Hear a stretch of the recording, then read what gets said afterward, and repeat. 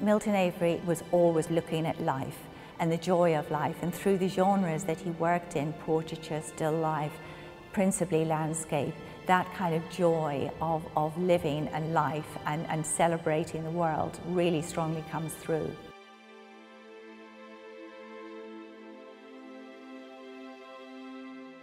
Milton Avery was an American painter um, and is associated with American modernism. Um, he's really celebrated in America. He was popular during his lifetime and he's one of these artists who's always been an artist's artist, meaning that other artists really understand his brilliance and have gravitated towards him. This show starts with early works that he did, uh, plein air works uh, from, the, from the teens, 1915 approximately, and he was in school um, in Hartford at that point. Those works literally, we had to open drawers, find them. They had not even been stretched ever before, and um, nobody had taken the trouble to really understand the genesis of Avery. You know, he's painting those early pictures right in the middle of the First World War, and then you have him evolving as an artist. 20s into 30s, you know, it's the Depression in New York, it's a pretty dark time, you know, and there's not a lot of vibrancy, but you still see his subtlety with color, but it's not very, there's not a lot of joyful tones.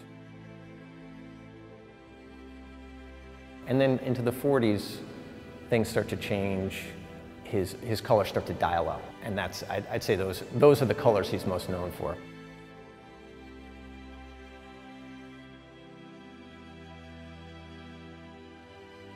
He and my grandmother and my mother, over the decades, they made a real effort to go different places. You know, even in the Depression, nobody had any money, but somehow they'd figure out like a place to stay in Vermont for the summer, in Connecticut, a summer in Gaspé Peninsula, coast of Maine, Provincetown, and um, they drive there and rent a barn to stay in or something. You know, it was very, very bare bones, but it was the spark of the idea for the next season, for going back to New York and the winter in the studio. You know, you'd be working off of those fresh sketches.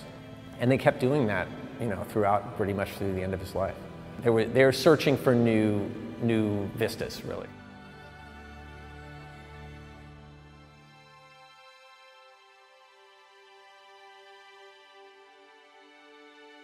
He started doing portraits when he was still in training in Hartford and we have a number of portraits here but he stopped doing proper portraits in about 1939 the only ones he continued doing were self-portraits.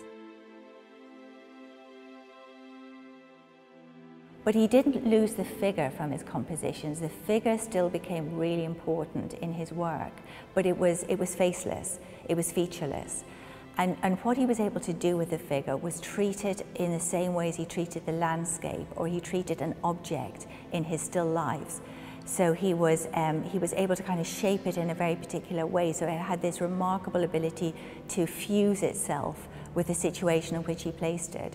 They are really reduced. We know it's the, the, the human form, but we start to look at it in a very different way. We're looking at the, the shapes that the human body has and how it's mimicked by the landscape as well. In later works, he was spending a lot of time in Provincetown on Cape Cod, and so there's a real focus on the sea and the dunes and the beaches and the changing tides.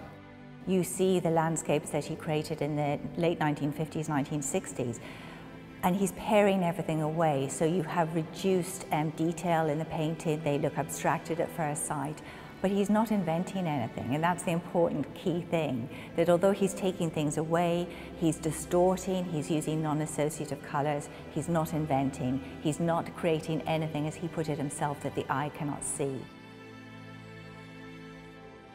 It's his time period that allows that fluid movement between American modernism and American abstract painting. And Avery chooses to come to the brink of abstraction, but then walks away, you know, to paint what he called observed reality.